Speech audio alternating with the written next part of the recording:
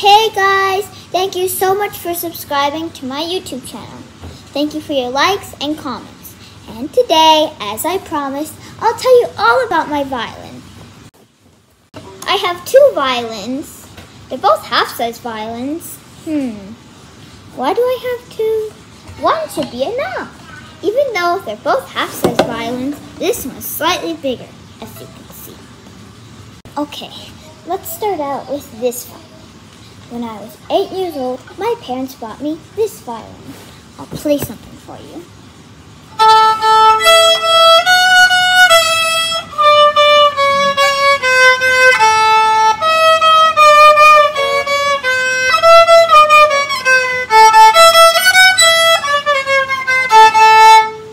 And of course, that was Twinkle Twinkle Little Star. I wanted to play the first song I learned because this is my first violin.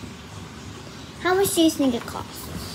$50, $100, $200. Well, how much? Well, it costs $250 and it comes with a case and a bow.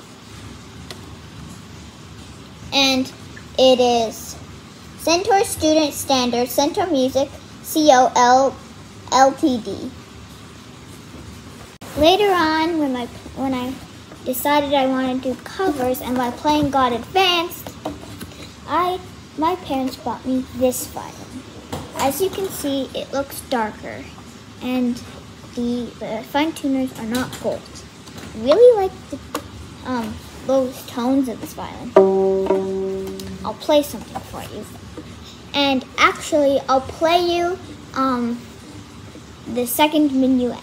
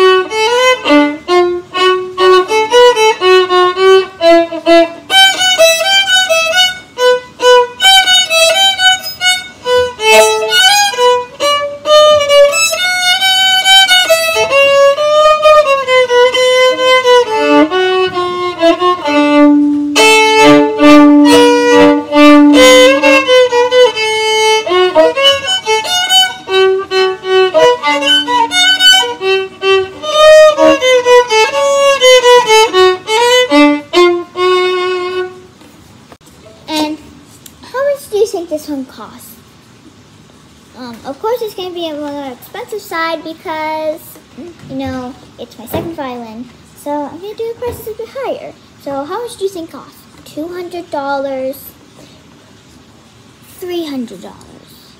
$400. Well, it costs $600 and it comes with a case and a bow.